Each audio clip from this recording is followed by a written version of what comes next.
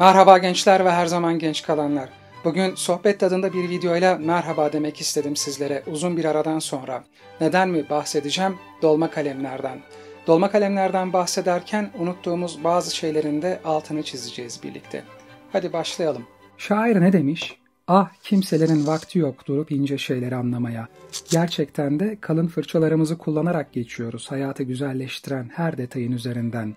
Şeytanın teferruatta mahfuz olduğunu, sadece bir hayatımız olduğunu unutarak. Biraz olsun emek, çaba isteyen her şeyi kullanat olanlarıyla değiştirerek yolumuza devam ediyoruz. Bayramlarda arasına harçlık sıkıştırıp verilen mendiller, sadece bıçağı değişen ya da bileylenerek kullanılan tıraş takımları, kurmalı saatler, dolma kalemler, hepsi de zahmetsiz rahmet dünyasının kurbanı oldular. Bu saydıklarım ve çok daha fazlası aslında anı biriktirmenin araçlarıdır. O mendil bir gözyaşını siler, tıraş bıçağı acele ettiğiniz bir gün yüzünüzü azıcık kanatıp ayar verir, bu acele niye der gibi. Saat kurdukça zamana emeği katmanın önemini anımsatır. Kalem de bunların hepsini yazar, ölümsüzleştirir. Ben çocukken yani önceki yüzyılda dönem ödevleri dolma kalemle yazılırdı. Önemli olduğu düşünülen her yazı gibi. Buna rağmen öğrenciyken dolma kalemlerle yıldızım hiç barışmadı. Ne zaman bir şeyler yazacak olsam tutukluk yaparlar ya da mürekkep akıtırlardı. Galiba öğrenci işi dolma kalemlerden kaynaklanan bir sorundu ya da gözden kaçırdığım bir şey vardı. Yıllar sonra aldığım Lamy marka bir dolma kalem, dolma kalemler hakkındaki tüm olumsuz düşüncelerimi kökten değiştirdi. Yanımdan, masamdan hiç ayırmadığım bir arkadaş haline geldi. Lamy ilk tanıştığımız zamanlarda oldukça kabul edilebilir bir fiyat etiketine sahipti ve bu cüzi rakam karşılığında yüzlerce dolarlık bir kalemin sunabileceği yazma deneyimini yaşatıyordu. Zamanla marka değeri yükselen Lamy bu fiyat performans başarısını kaybetti bence. Bugün 4-5 dolar ödeyerek alabileceğiniz Jinhao marka bir kalem bence Lami'den çok daha keyifli bir yazı deneyimi yaşatıyor. Kalemin icadını binlerce yıllık yazılı geçmişimizden bile öncesine tarihlemek mümkün olsa da mürekkebini içinde muhafaza eden ilk dolma kalemler 19. yüzyılın sonunda patentlendi.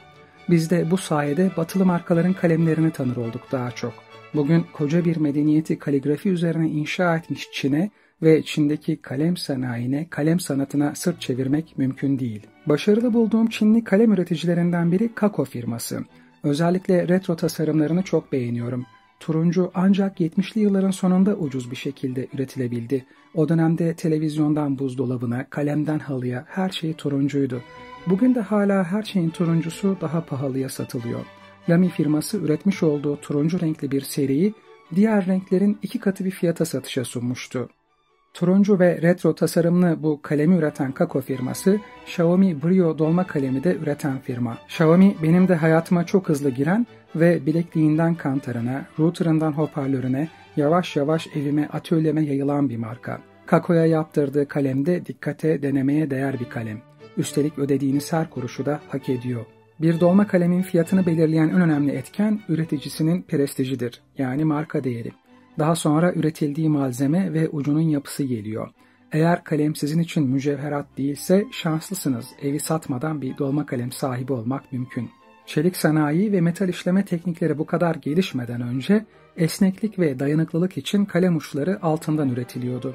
Bugün bazı markalar bu geleneği sürdürse de her kalemin en uç kısmı iridyum ya da tungsten gibi sürtünmeye dayanıklı bir malzemeden üretilmek zorunda. Çeliği de istediğiniz kadar esnek ve dayanıklı hale getirmek çok zor değil bugünün teknolojisiyle. Yani kalemin ucu altından olmasa da olur diyorsanız otomobili de kurtarmış sayılırsınız. Aradığınız sadece zevkli bir yazı deneyimi ise Çinli üreticiler sayesinde bir öğlen yemeği fiyatına bu zevkli dünyaya acısız bir giriş yapabilirsiniz. Xiaomi Brio işte tam bu işin kalemi. Xiaomi Brio alüminyumdan üretilmiş bir kalem. İsterseniz kartuşla, isterseniz kendi dolduracağınız enjektör benzeri adaptörüyle kullanabiliyorsunuz. Hem kartuşlu hem de pompalı yani. Benim tercihim pompa mekanizmasını kullanmak. Hem daha çok renk seçeneği sunuyor hem de daha kaliteli mürekkepler kullanabiliyorum bu sayede. En basitinden en karmaşığına dolma kalem uçlarının neredeyse hepsi bir sanat eseri. Üzerindeki incecik yarıktan kılcallık etkisi ya da kapiler etki sayesinde kalemin ucuna kadar süzülüp kağıtla buluşan mürekkebin dozunu ayarlamak kolay bir iş değil. Eskiden dolma kalemlerin ulaşılamayacak kadar pahalı olmalarının sebebi bu bilgiye sahip bir elin parmağından daha az üretici olması ve bu hassasiyeti sağlayacak işlerin elle yapılma zorunluluğuydu. Bugün artık milimetrenin binde biri hassasiyete rahatlıkla ulaşabilen seri üretim teknikleri dolma kalem fiyatlarını tükenmez kalem fiyatlarına kadar indirdi. Bir tanesine sahip olup anı biriktirmenin tam zamanıdır belki de. Bu videonun açıklamalar kısmında Xiaomi ve Jinhao'nun severek kullandığım iki modelinin linklerini bulabilirsiniz. İkisi de kullanımı zevkli ve fiyatlarının çok üstünde performansa sahip kalemlerdir. Bir de unutmamanız gereken bir şey var. Kaleminizin ucu sizin oturuş, tutuş, kullanım alışkanlıklarınıza göre aşınıp şekillenecek zaman içinde. Giderek artan bir zevk alacaksınız dolma kalemle yazı yazmaktan. Nazlı Mahmut Efendi'nin Sinan'a yaptırdığı caminin alemine koydurduğu Hokka ve Divit, tarihin her döneminde kılıçtan keskin ve aydınlanmanın sembolü olmuştur. Bol okumalı yazmalı aydınlık yarınlarda yeni videolarda görüşmek üzere.